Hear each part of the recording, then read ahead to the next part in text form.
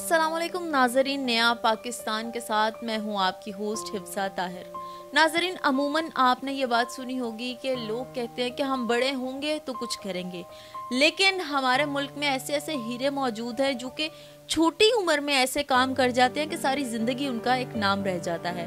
हमारे साथ आज मौजूद है जोहा जो जिनकी उम्र 21 साल है और 21 साल में उन्होंने ऐसा काम कर दिया जो बड़े बड़े लोग भी नहीं कर सकते बड़े बड़े पैसे वाले भी नहीं कर सकते। आज से तीन साल पहले इन्होंने वजुहा वेलफेयर ऑर्गेनाइजेशन की बुनियाद रखी, जिसका मकसद ये था जो गरीब, मस्किन बच्चे या जिनके पेरेंट्स अफोर्ड नहीं कर सकते, उनको फैसिलिटेट करना और आज तक ये ये काम कर रही हैं। तो आइए जोहा से बात करते हैं और उनसे पूछते हैं कि आया कब से इन्होंने स्टार्ट किया ये ख्याल कैसे आया लोगों के लिए कुछ करने का जो कि बहुत ही नेकी का काम ये कर रही हैं। अस्सलाम वालेकुम। वालेकुम सलाम क्या हाल चाल है जोहा? अच्छा हमें ये बताएँ आप कि आप वजूहा वेलफेयर ऑर्गेनाइजेशन चला रही हैं। तो सबसे पहले तो मैं ये पूछना चाहूँगी वजूहा का लफ्ज़ आपने यूज़ किया है तो इसका क्या मीनिंग है और क्या सोच के आपने अपनी ऑर्गेनाइजेशन का नाम रखा? अच्छा वजुहा का मतलब है इट्स अ सूरह फ्रॉम कुरान सूरह वजुहा ठीक है, इसका मतलब है इस पूरी सूरह में एक मैसेज है, अल्लाह यतीमों का भी कहता है इसके अंदर, अल्लाह ताला इसके अंदर आपको कहता है कि उम्मीद नहीं छोड़नी मैं हमेशा रास्ते दूँगा तुम्हें, मेरे पे तवक्ल रखो। तो इट्स अबाउट दैट बिल्कुल ठीक हो गया, लेकिन आप 19 साल की थी जब से आपने ये काम स्टार्ट किया 19 साल की उम्र में तो हम ग्रेजुएशन भी नहीं करते प्रॉपरली इतनी छोटी उम्र में आपने किस तरह से ये चीज़ सोची कि मुझे लोगों के लिए कुछ करना अभी तो आपको खुद कुछ करने की ज़रूरत थी उस एज में। तो क्या आपने सोचा और क्या सोच थी जो आपको ये करने पर मजबूर किया जिसने लाइक ऐसा है कि ज़िंदगी कुछ ऐसे लम्हात थे, लोगों को देखा ऐसा लाइक जो लोग सफ़र कर रहे हैं, ज़िंदगी उनकी तलख है, उस ऐसे बच्चे मिले जो बहुत ज़्यादा अंडर प्रिवलेज कंडीशन के अंदर रह रहे हैं। तो उस लिहाज से देखा कि भाई अगर हमें अल्लाह ताला ने इस्तात दी है शूर दिया है तो हम कैसे ये चीज़ एक्सेप्ट कर सकते हैं माशरे में? तो इस सारी जर्नी की मतलब अल्लाह की राह में काम करने की मैं एक अदना सी मुसाफिर हूँ। लाइक बहुत सारे लोग काम करें बट अल्लाह ने मुझे तोफ़ी दी है कि मैं इस कार खैर में हिस्सा डाल सकूँ। बिल्कुल ठीक हो गया। जुहा, हमें ये बताएँ कि हर चीज़ शुरू करते हुए एक पौधा लगाया जाता है एक बीज बोया जाता है। तो आपने जब ये बीज बोया था तो आपको किन किन मुश्किल का सामना हुआ? First of all it's my parents जिन्होंने मुझे uh, uh, यू नो कभी मुश्किल नहीं आने दी अलहमदिल्ला फॉर दैट मतलब throughout my friends and family has been great support for me और दूसरा ये था कि मुश्किल ज़ाहिर सी बात है, कुछ भी आप ज़िंदगी में करते हो तो मुश्किल आती हैं that's a part of journey पर इतना कुछ भी नहीं कि मैं आपको बता सकूँ। कुछ भी नहीं था, लेकिन ये जो आप काम कर रही हैं, बच्चों को फैसिलिटीज़ देना, इस सारे ऑर्गेनाइजेशन में ऐसी कौन कौन सी सहूलियात हैं जो कि आप बच्चों को प्रोवाइड करती हैं? इसके अंदर हम एजुकेशनल फैसिलिटी प्रोवाइड करते हैं. दे लिव है दे मतलब खाना पीना हो गया, रहना सहना फ़ूड हो गया. एजुकेशन होगी कुरानिक एजुकेशन होगी मॉडर्न एजुकेशन होगी. जितना जो एक घर में आपको माँ बाप ख्वाहिश करते हैं कि अपने बच्चों को सारी फैसिलिटीज़ दें आसानियाँ फ्राहम करें, वो हम प्रोवाइड करते हैं. हम हमें ये बताएँ कि ये जो बच्चे हैं, ये आप तक पहुँचते कैसे हैं? हम डिफरेंट एरिया से वेरीफाई करते हैं इनकी फैमिलीज़ कुछ की ज़िंदा होती हैं। फैमिलीज़ हम इन टच रखते हैं। दे आर नॉट लाइक कि अगर हमारे पास आ गए तो हमारे पास ही आ गए। क्योंकि हमने माशरे को बेहतर करना है तो हम इसको कट ऑफ़ बिल्कुल भी नहीं करते माशरे से। कि हमने हम चाहते हैं जो उस माशरे और इस माशरे मतलब एक कल्चरल गैप आ गए एक आ, क्या करें एक तबकाती गैप आ गए वो हम ख़त्म करने की कोशिश कर रहे हैं। बिल्कुल ठीक हो गया। जोहा एक और मेरा सवाल आपसे ये है कि इन बच्चों को आप ट्रीट किस तरह से करते हैं? आया उसी तरह से ट्रीट किया जाता है, जैसे एक पेरेंट्स अपने बच्चों को ट्रीट करते हैं।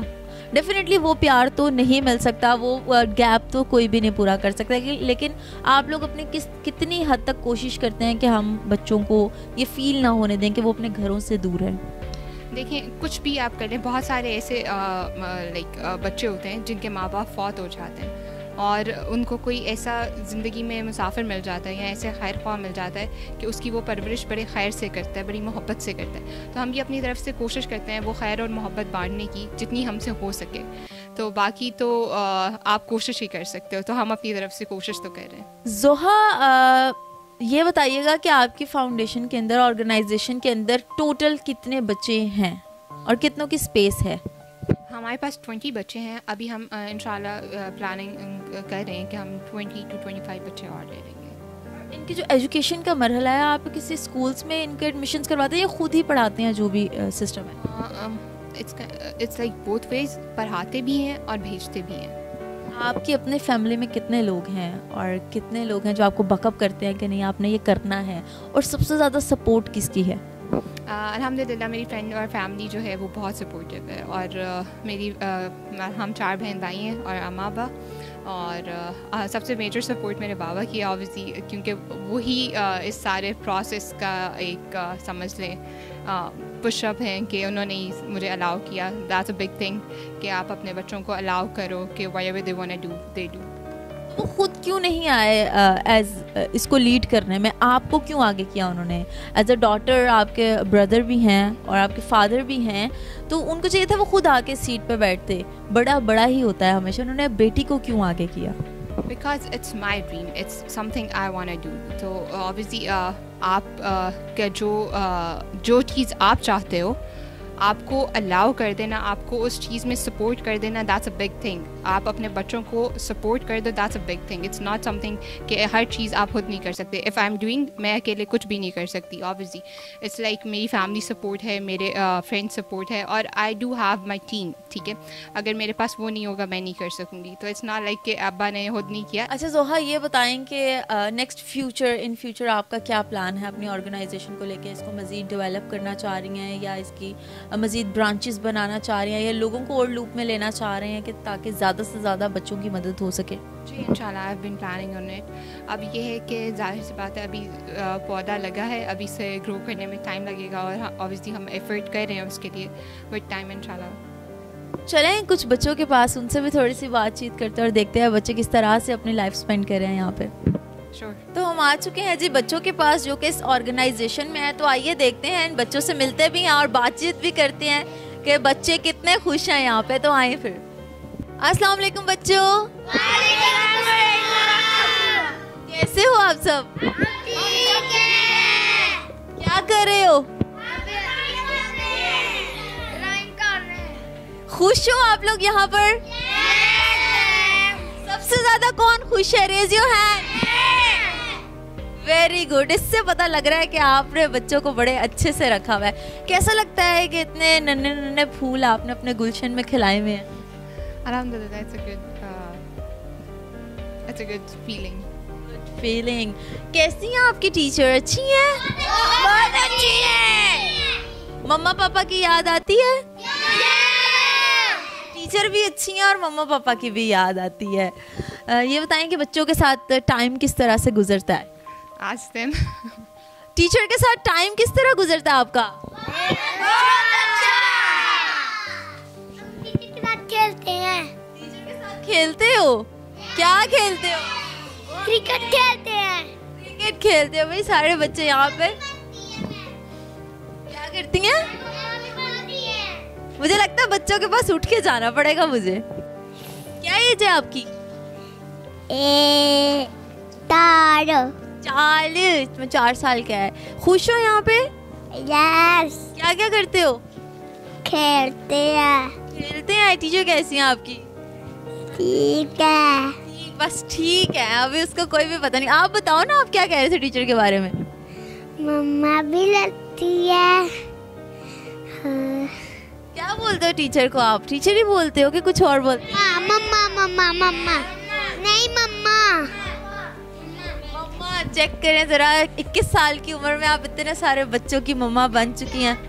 हूँ चार तो सबसे बड़ा बच्चा कौन सा है यहाँ पे? ओहो अयान सबसे बड़ा अयान क्या एज है आपकी? तीन है मेरा नाम। तीन क्या एज है आपकी? मेरी ग्यारह साल। कब से हो आप यहाँ पे? दो साल दो महीने से। दो महीने से तो कैसा टाइम गुजरा यहाँ पे? बहुत अच्छा। और घर में कैसा गुजरता था? बहुत खराब। क्यों खराब क्यों? बुरी बात घर को बुरा नहीं कहते। मम्मा पापा की याद आती है? यस यस यहाँ पे ज़्यादा प्यार मिलता है कि घर पे? दोनों जगह दोनों जगह पे। फेवरेट चीज़ किसको मिलती है यहाँ पे खाने के लिए? फुटबॉल खाने वाला होता है। खाने वाला ने चॉकलेट लेस रियो बिस्किट सारा कुछ। सारा कुछ मिल जाता है सारे स्नैक्स मिल जाते हैं।